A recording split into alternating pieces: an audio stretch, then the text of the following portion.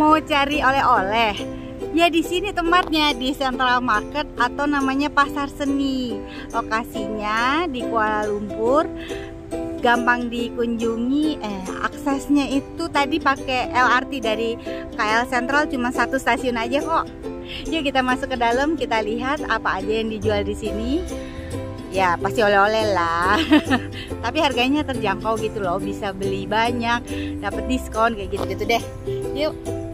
Mau cari oleh-oleh? Ya di sini tempatnya di Central Market atau namanya Pasar